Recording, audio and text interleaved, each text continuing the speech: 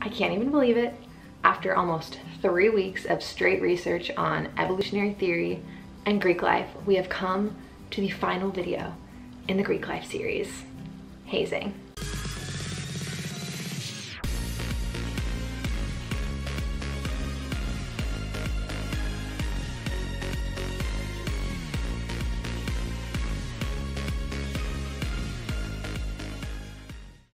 Anyone who has watched all the videos I've made on this particular overlap between Greek life and evolutionary theory, thank you, that means so much. Now, I've kind of alluded to the fact that I'm gonna be talking about hazing because there wasn't really time to squeeze it into any of the other videos that I've done. So I hope that you're just as excited as I am, and now let's get into it. Okay, so I guess the main thing that I'm wondering about hazing is why something as barbaric and humiliating would still exist in the modern world. And I did some research and prior to that, I only thought that hazing was really something that happened on college campuses, but technically it isn't just that. Hazing can be pretty much anything that demonstrates you are a worthy member of the given group or society, culture, so on and so forth. Something that I didn't realize is a lot of cultures around the world, things that move you from, for example, becoming a from being a boy to becoming a man is considered hazing still. I didn't really realize that at the beginning of this process, um, but oftentimes it is public humiliation involved or proving that pain or you're willing to take one for the team, for your family, for your culture, that's part of the process. And I guess that means it's then a part of hazing. And this goes back for thousands of years. It's something that existed in human societies for a very long time. And after realizing that hazing isn't just something that happens on college campuses, I found myself coming to the same three conclusions every single time as to why it persists in so many places. So the first thing that I found is hazing can create a closeness or a bond between two people that go through something hard. Have you ever heard traumatic experiences will bring you so much closer? I think this is kind of along those same lines. When you are with a group of guys having to drink, I don't know, upside down from a keg stand together and you're all throwing up together, you got through it together. So then that brings you guys closer. And that process there kind of mocks kinship. It mocks that, oh, we went through hard times together, we stick together forever for life, we're family kind of thing. Does that make sense? I hope so. So the next thing that I found is along the lines of the fact that oftentimes hazing happens in multi-generational groups, or in other words, one when one group leaves, another comes in. So this can be a family, for example, typically there's a, a, generation there that you're replacing. So if your grandfather passes away, you've got, I don't know, the grandson who's becoming a man, I guess. so there's like a multi-generational thing happening and there's a gap to fill. The same thing happens on college campuses. When the seniors graduate, freshmen come in. And because of that, there's this thing that happens where groups want to prevent freeloaders or someone who's gonna gain the rewards of a group without putting the work in themselves. So if you're not a freeloader, you will sacrifice for the good of the group. You will go through this hazing process to prove that you aren't someone who's just gonna reap the rewards that this greater organization is gonna give you. And if you think about it, as bad, as unsafe as it is, in evolutionary terms, it's kind of a smart way to see who's gonna stick their neck out for you and who's, I don't know, gonna fall off the wagon. And then the third point that I came to is something that I'd heard of but never really done a lot of research on, and that is something called cognitive dissonance. Here's a quote that I think best describes cognitive dissonance. I'm gonna read it.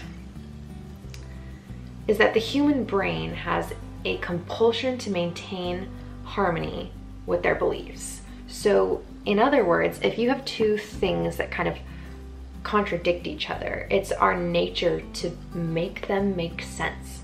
If you know that the sky is blue, for example, but someone tells you that the sky is orange, there's this need to work through that problem and make the two make sense together. Either you rule one out completely because the sky is not usually orange, or you say, Well, maybe there's a fire where they're from and the smoke is making the sky orange. Does that make sense? You have this need to like make everything make sense.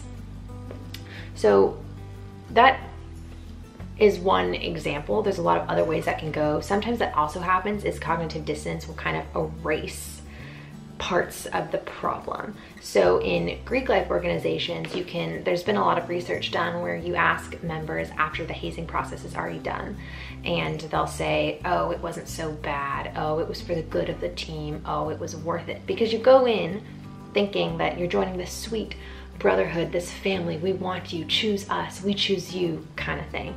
And then once you get there, they treat you like crap, they make you run at five o'clock in the morning, drink all this stuff. I don't know. I don't know what they do really. I've only heard stories. But these two things contradict each other and the only thing that makes sense is to make them make sense. So when it's done, you're like, oh yeah, no, it was fine. It was for the team. It wasn't so bad. People will rewrite hazing in their mind as something that brought them closer together versus broke them apart. With all of that said, I think it cannot be ignored that hazing is absolutely terrible. Everything I've said, I think, has been like a justification almost of why hazing exists. Oh, hazing exists because it bonds us. Hazing exists to prevent freeloaders. And I'm saying that like that is probably why it's been maintained, but I'm not saying that that's a good thing.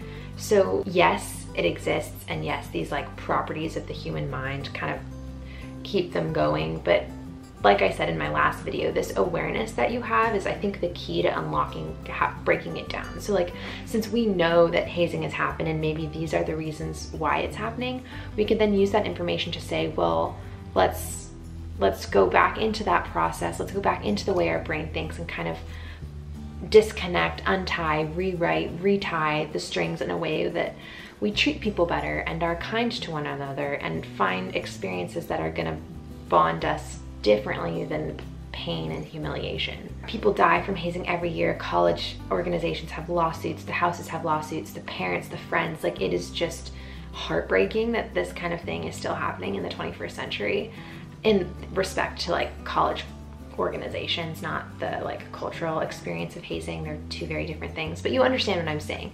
I really do think that we can use this to help either stop it or rewire the way that hazing has to happen instead of drinking all together, you tell stories and secrets and talk about your feelings.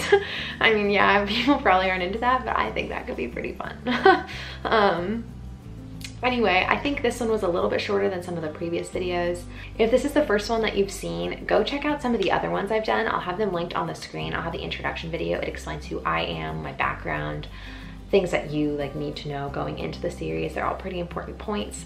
And if anyone out there wants to have a conversation with me in the comments, that's kind of been my favorite thing from this whole project is talking to people who either feel a certain way about something that I've talked about or I don't know, thought of something that I didn't think of because a lot of what I've talked about, at least in this series, is stuff that's not really discussed on the internet. A lot of the connections that I've made have been original connections in some sense.